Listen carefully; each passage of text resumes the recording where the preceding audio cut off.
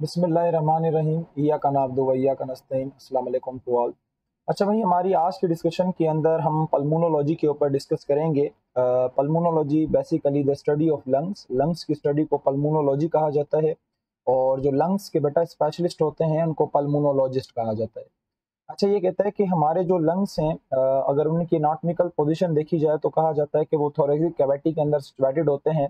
और हमारी जो मोस्टली थोरेसिक कैविटी है, वो इसी चीज़ से ही क्या होती है? ऑक्यूपाई होती है। तो हमारी जो चेस्ट वाली या थोरेसिक जो कैविटी है, उसके अंदर मोस्टली लंग्स पाए जाते हैं और इनके बिल्कुल सेंटर के अंदर हार्ट पाया जाता है। अच्छा ये हमें कहता है कि देखो बेटा, ये हमारे जो लंग्स हैं और आपको पता है कि इन लंग्स के ऊपर ऊपर की साइड यानी सामने वाली साइड आपको ट्वेल्व जो है रिप्स आपको लेफ़्ट साइड पे मिलेंगी और जो ट्वेल्व रिप्स हैं वो आपको राइट साइड में मिलेंगी।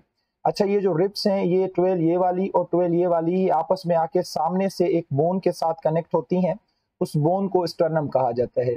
और इसी तरह से ये बोन जिस तरह से आगे जिस बोन के साथ कनेक्ट हो रही है, इसी तरह से ये पीछे भी किसी बोन के साथ कनेक्ट होती है, उसे वर्टिब्रल कॉलम कहा जाता है।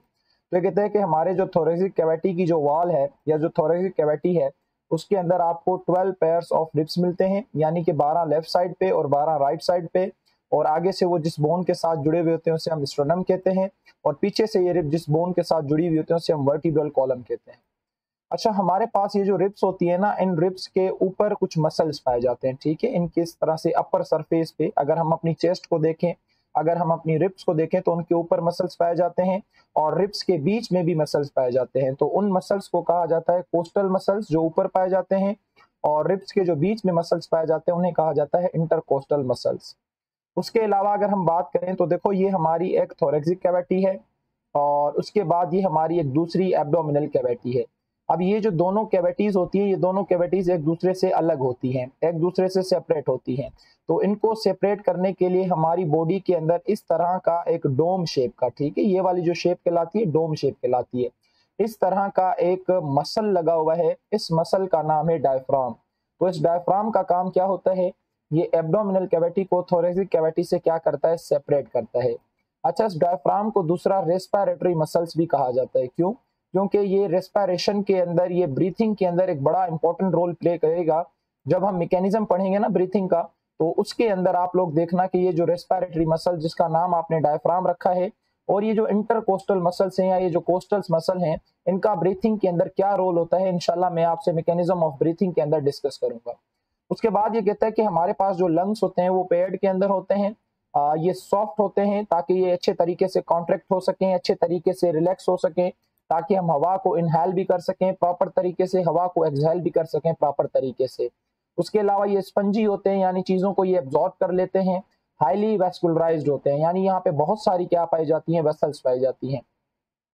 उसके बाद ये कहता है कि हमारा जो राइट लंग होता है उसके तीन लोब होते हैं और हमारा जो लेफ़्ट लंग होता है, उसके दो लोब्स होते हैं। अच्छा जो लेफ़्ट लोब लंग होता है, उसके दो लोब इसलिए होते हैं क्योंकि यहाँ पे हमारा हर्ट सिचुएटेड होता है ना। तो हर्ट की वजह से थोड़ा सा स्पेस कम होता है तो यहाँ पे इसलिए लंग के दो लोब होते हैं लेफ़्ट के, और जो कि हमारे पास राइट लंग है, उसके कितने लोब होते हैं? तीन। तो कभी कभी बेटा ये आप लोगों से एंट्री टेस्ट में पूछा जा सकता है, या पूछा जाता भी है, और उसके अलावा ये डायफ्राम वाला क्वेश्चन भी बहुत बार आप लोगों से पूछा गया है। ओके अच्छा उसके बाद अगर हम लंग्स का थोड़ा सा स्ट्रक्चर देखें लंग्स की एनाटमी की अगर हम पोजिशन एनाटमी की या उसके हम इंटरनल स्ट्रक्चर की बात करें तो इस इमेज से मैं आपको समझाने की कोशिश करता हूँ। बेटा, देखो, ये हमारे पास लंग्स की जो ये वाली मेम्ब्रेन है ना, सबसे ये वाली जो आउटर मेम्ब्रेन है तो लंग्स की जो सबसे आउटर मेम्ब्रेन होती है, इस आउटर मेम्ब्रेन को कहा जाता है प्ल्यूलर मेम्ब्रेन या प्ल्यूरा कहा जाता है। सही है? अच्छा उसके अलावा ये लंग्स की है इंटरनल मेम्ब्रेन ये लंग्स की अंदर वाली मेम्ब्रेन है और ये लंग्स की बाहर वाली मेम्ब्रेन है। अच्छा इस अंदर वाली मेम्ब्रेन और बाहर वाली मेम्ब्रेन के बीच में आप लोगों को एक छोटा सा स्पेस नज़र आ रहा होगा। आप लोगों को एक छोटी सी कैविटी नज़र आ रही होगी जो यहाँ पे बहुत ही प्रोमिनेंट तरीके से नज़र आ रही है आपको। इस कैविटी को कहा जाता है प्ल्यूलर कैविटी और इस कैविटी के अंदर ये जो आप सारा देख रहे हैं, ये एक अदद फ्लूड पाया जाता है जिसका नाम क्या है? प्ल्यूलर फ्लूड है। और मैंने आपको बताया कि ये जो पिल्यूलर फ्लूड है, ये लंग्स के अंदर लुब्रिकेशन प्रोवाइड करता है। क्योंकि लंग्स जितने लुब्रिकेट होंगे, उतना गैसेस एक्सचेंज एफिशिएंट तरीके से होगा। तो भाई लंग्स की आउटर मेम्ब्रेन को प्ल्यूरा कहा जाता है। आउटर मेम्ब्रेन और इनर मेम्ब्रेन के बीच में एक अदद कैविटी पाई जाती है, जिसे हम प्ल्यूलर कैविटी कहते हैं। और उस प्ल्यूलर कैविटी के अंदर एक अदद फ्लूड पाया जाता है, जिसका नाम प्ल्यूलर फ्लूड है। और ये जो फ्लूड है, ये किसमें मदद करता है? ये फ्लूड जो है, वो लुब्रिकेशन के अंदर हेल्प करता है। लुब्रिकेशन जो है, वो लंग्स को प्रोवाइड करता है। अच्छा उसके अलावा हमने यहाँ तक की कहानी तो पढ़ी थी कि भाई, ये हमारी ट्रेकिया थी, फिर ये नीचे से आके दो ब्रांचेस के अंदर बायफर्केट हो गई थी। दो ब्रांचेस के अंदर डिवाइड हो गई थी। इन ब्रांचेस का नाम हमने ब्रोंकस रखा था। तो यहाँ पे आप देख सकते हो, ये आपका लेफ़्ट ब्रोंकस है और यहाँ पे आप देख सकते हो, ये आपका राइट ब्रोंकस है। सही है? अच्छा फिर हमने कहा था कि हम फिर लंग्स के अंदर एंट्री ले लेते हैं तो अभी हम लंग्स के अंदर जाते हैं।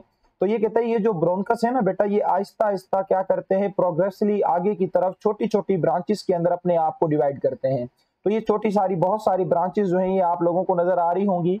इन छोटी छोटी ब्रांचेस को कहा जाता है ब्रोनक्यूल्स तो ये यहाँ पे देखो लिखा भी हुआ है। तो क्या हुआ, ये हमारी ट्रेकिया थी, ये बायोफर्केट हुई। बायोफर्केट होने के बाद फिर ये लंग्स के अंदर इसने एंट्री ली। लंग्स के अंदर जब इसने एंट्री ली तो इसने आपको छोटी छोटी ब्रांचेस के अंदर डिवाइड किया और उन ब्रांचेस का नाम हमने क्या रखा? उन ब्रांचेस का नाम हमने ब्रोनक्यूल्स रखा। अच्छा फिर इन ब्रोनक्यूल्स को आप थोड़ा गौर से अगर देखो तो ये ब्रोनक्यूल्स जाके आगे इन गुब्बारे नुमा स्ट्रक्चर के अंदर खुलते हैं। इनकी टिप के ऊपर कुछ स्टेक लाइक स्ट्रक्चर मौजूद होते हैं, कुछ गुब्बारे की तरह स्ट्रक्चर मौजूद होते हैं और ये जो गुब्बारे नुमा स्ट्रक्चर है, इनको अगर हम थोड़ा सा बड़ा करके देखें तो इनको कहा जाता है एल्व्यूलाई तो यहाँ पे ये एल्व्यूलाई भी आप लोगों को नज़र आ रहे होंगे। तो मुझे उम्मीद है कि ये वाली इमेज आप लोगों की बहुत अच्छे तरीके से क्या हो गई होगी क्लियर बाकी ये आपका वो डोम शेप का रेस्पायरेटरी मसल से जिसका नाम आपने क्या रखा था? डायफ्राम रखा था। बाकी इसका काम मैं आपको मैकेनिज्म ऑफ़ ब्रीथिंग में बताता हूँ कि इसका काम क्या होता है। अच्छा आप थोड़ी सी इसकी थ्योरी भी पढ़ लेते हैं। जो बातें मैंने बताई वो थ्योरिटिकल यहाँ पे लिखी हुई हैं कि हर लंग की अगर हम बात करें तो उसके ऊपर एक थिन मेम्ब्रेन होती है, उसको हम प्लूलर मेम्ब्रेन कहते हैं। और ये कहता है कि उस प्लूलर मेम्ब्रेन के बीच में एक फ्लूड फिल्ड कैविटी पाई जाती है, जिसे प्लूलर कैविटी कहा जाता है, और इस कैविटी के अंदर प्लूलर फ्लूड होता है, जो कि लुब्रिकेशन प्रोवाइड करता है। अच्छा उसके बाद ये कहता है कि आप लोगों ने देखा था कि हमारे पास जो लंग्स थे जो दोनों हमारे पास जो लंग्स थे, उनके जो ब्रोंकस थे, वो आहिस्ता आहिस्ता बहुत छोटी ब्रांचेस के अगर अंदर जो है, बढ़ते हुए अपने आप को डिवाइड करते हुए जा रहे थे, और उन छोटी ब्रांचेस का नाम हमने क्या रखा था? ब्रोंक्यूल्स रखा था। फिर आप लोगों ने ये भी देखा कि ये जो ब्रोनक्यूल्स थे, ये जाके टीनी, कुछ खाली सेक लाइक गुब्बारे की तरह कुछ स्ट्रक्चर थे, उनके अंदर जाके ये ओपन हो रहे थे, जिन्हें हम किसका नाम दे रहे थे? एलविलाय का नाम दे रहे थे। और आप सब लोगों ने याद रखना है कि एलविलाय हमारे पास वो जगह होती है जहाँ पे गैसेस का एक्सचेंज होता है। तो इसलिए एलविलाय को कहा जाता है कि ये इंसान की रेस्पायरेटरी सरफेस है। बेटा देखो, जब आप लोगों से पूछा जाता है कि इंसान का रेस्पायरेटरी ऑर्गेन कौन सा है तो आपका जवाब होना चाहिए लंग्स लेकिन जब आपसे पूछा जाता है कि इंसान की रेस्पायरेटरी सरफेस कौन सी है तो आपका जवाब क्या होना चाहिए? एल्विलाय होना चाहिए। जिस तरह से बर्ड्स के अंदर हमने पढ़ा था कि उसका रेस्पायरेटरी ऑर्गेन कौन सा है? लंग्स है। लेकिन अगर मैं पूछूँ कि उसकी रेस्पायरेटरी सरफेस कौन सी है तो आप कहोगे कि सर वो पेरा ब्रोन का है। तो दोनों चीज़ों में फ़र्क है। तो सवाल को पहले अच्छे तरीके से पढ़ा करो, फिर उसको आप हल किया करो। अब ये कहता है कि हर लंग्स को अगर सॉरी हर एल्विलस को अगर आप देखोगे, यानी ये जो बहुत सारे एल्विला है इनमें से एक एक एल्विलस को आप उठा के देखोगे तो वो आपको सिर्फ़ एक सिंगल लेयर की बनी हुई नज़र आएगी। ना, ये एल्विला है और ये इसके ऊपर एक सिंगल लेयर होती है, एपिथेलियल सेलों की बनी हुई, और आपकी जो बेटा कैपलरी होती है ना, वो भी एक सिंगल एंडोथीलियल सेलों की बनी हुई होती है। लेकिन इन दोनों में फ़र्क ये है कि जो हमारे पास अलविलाय होते हैं, उनका डायामीटर थोड़ा सा बड़ा होता है, जो कैपलरीज होती है, उनका डायामीटर थोड़ा सा कम होता है as compare to the alveolus अच्छा इसका रीजन है। रीजन ये है कि एल्विलस का डायामीटर इसलिए बड़ा होता है ताकि आसानी से गैस यहाँ अंदर भी आ सके और आसानी से गैस जो है वो बाहर भी जा सके। यानी कि ऑक्सीजन आसानी से अंदर आए और कार्बन डाइऑक्साइड यहाँ से आसानी से बाहर जा सके तो इसलिए इसका डायामीटर थोड़ा सा क्या होता है, बड़ा होता है।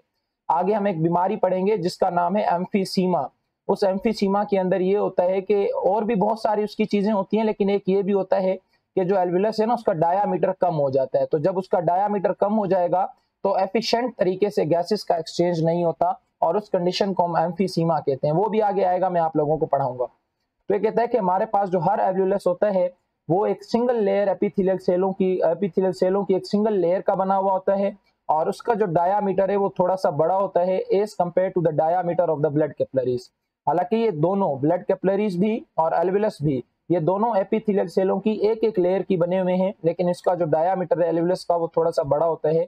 As compare to the blood capillaries और मैंने आपको बताया कि हर एलविलस के सराउंडिंग में आप देखोगे तो बहुत सारी आपको क्या नज़र आती हैं? ब्लड कैपलरीज आती हैं। क्यों? क्योंकि ये ब्लड कैपलरीज इस लंग्स के एल्विलाय के पास कार्बन डाइऑक्साइड को लेके आती हैं और एल्वुलाई से वापस ब्लड के अंदर किसको ले जाएँगी? ऑक्सीजन को ले जाएँगी। और मैं आपको कई बार पहले बता चुका हूँ कि जब भी बॉडी के अंदर किसी भी चीज़ का एक्सचेंज होता है तो वो कैपलरी के लेवल पे होता है, क्योंकि जो कैपलरी का डायामीटर होता है, वो थिक होता है मेम्ब्रेन थिन होती है। तो वो परमिएबल होती है, इजाज़त गैसेस को आने जाने की क्या करती है? आसानी के साथ इजाज़त देती है। अच्छा ये कहता है कि एल्वुलाई वो जगह है जहाँ पे गैसेस का क्या होता है? एक्सचेंज होता है। तो लिहाजा इसलिए इसको दूसरा क्या कहा जाता है? रेस्पायरेटरी सरफेस कहा जाता है। मैं आपसे ऑलरेडी ये मेंशन कर चुका हूँ। इसके अलावा अगर एक और चीज़ मैं आप लोगों के साथ डिस्कस करना चाहूँ, इस इमेज को बेटा अगर आप थोड़ा सा गौर से देखो, ये वाली इमेज इस इमेज के अंदर आपको यहाँ पे एक मटेरियल नज़र आ रहा होगा, ये वाला देखो। ठीक है? ये एल्वुलाई के सेल हैं एंडोथीलियल सेल हैं, और उन सेलों के अंदर आपको ये वाला स्ट्रक्चर नज़र आ रहा है।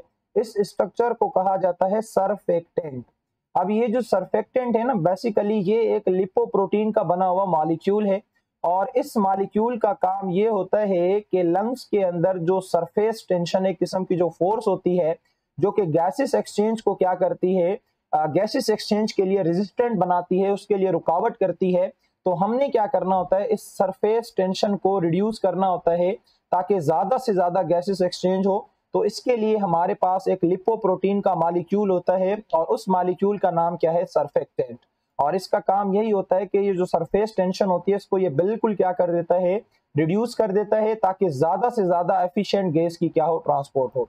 तो ये कहता है कि जो एल्वुलाई का अंदर वाला जो एरिया है ना उसके ऊपर एक थिन लेयर होती है फ्लूड कंटेनिंग की, जिसे हम क्या कहते हैं? सरफेक्टेंट कहते हैं।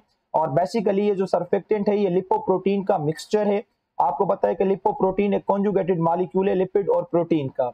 अब ये क्या करता है? लंग्स के अंदर जो सरफेस टेंशन होती है, जो फोर्स होती है ना, उसको ये रिड्यूस करता है, ताकि ज़्यादा से ज़्यादा गैसेस की क्या हो? ट्रांसपोर्टेशन हो। तो ये बेटा आप लोगों को यहाँ पे नज़र भी आ रहा होगा, ये वाला जितना भी है, ये सारा का सारा हमारा क्या है?